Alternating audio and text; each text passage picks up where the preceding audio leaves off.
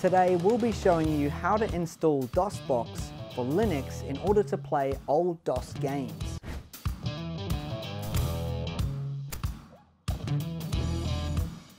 Hey guys, it's Joel here with Make Tech Easier.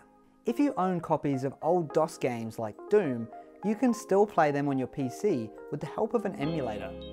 DOSBox is the best DOS emulator around. Most guides for DOSBox focus simply on installing the application and providing a couple of commands to get this going. However, this is likely to scare off new users, and there's a nasty surprise awaiting DOS veterans as well. In this video, this guide will not only cover how to install DOSBox for Linux, but also how to automatically mount your C drive. And for the newbies out there scared of DOS commands, I'll also be laying out a recommendation for a classic piece of software to help you along. Installing DOSBox is easy as it's in the repositories of almost every distribution and should be accessible under any package manager. If you prefer to install by command line, use this. Once installed, the program should be in your system menu or can be started by entering the following. Once inside DOSBox, it's easy to feel lost. Rather than launching a prompt at your C drive, DOSBox starts with its prompt at Z DOSBox's internal virtual drive, with a recommendation on how to mount a new C drive manually. This will scare off new computer users as well as annoy DOS veterans who just want a prompt at their C drive ready and waiting. To get around this, you need to edit DOSBox's startup files. On a normal DOS installation, this would just involve editing autoexec.bat on the root of your C drive However, DOSBox uses a local configuration file in a subdirectory of your home folder to organize its commands. To access this file, first enable hidden files and folders in your file manager, then open the .dosbox directory in your home folder.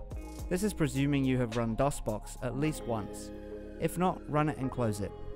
There should be a file called dosbox-0.74.conf. Your version number may differ.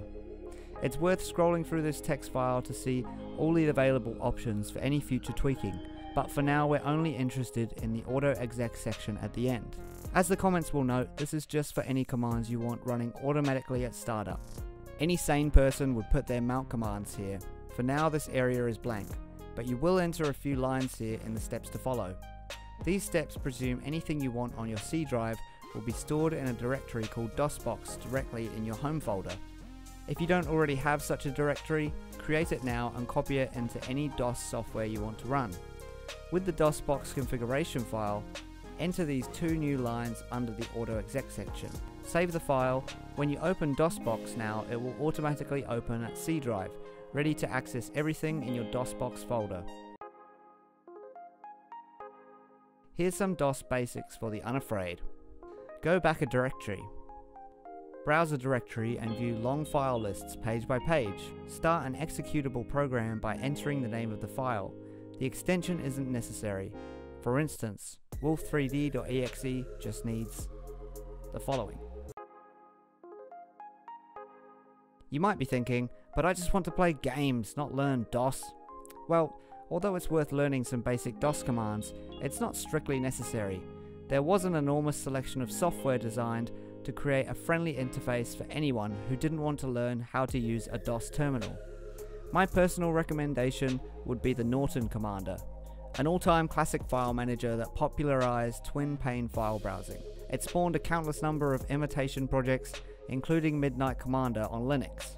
Use the arrow keys to browse through files, pressing enter on any file you want to launch or directory you want to enter. To change between the two panes, press tab. The function keys perform tasks like copying, renaming, deleting, and so on. Sadly, Norton Commander is an abandonware. There is no official link, but you should be able to find it with Google search. Assuming you have Norton Commander under the NC directory in your DOSBox folder, you can start it with the following commands. To make Norton Commander run automatically at startup, you can add this command to the auto exec section of the DOSBox config file so that it now looks like this. You should now be able to run DOS games with ease and just copy any new games into your DOSBox folder at will. If you would like to know more about DOS commands or where to find software, check out our in-depth guide on DOSBox for Mac. Well, that's it from me. As always, if you love tech as much as we do, make sure you hit that subscribe button, turn the bell on, and you'll be notified by our latest and greatest tech savvy videos. See you next time.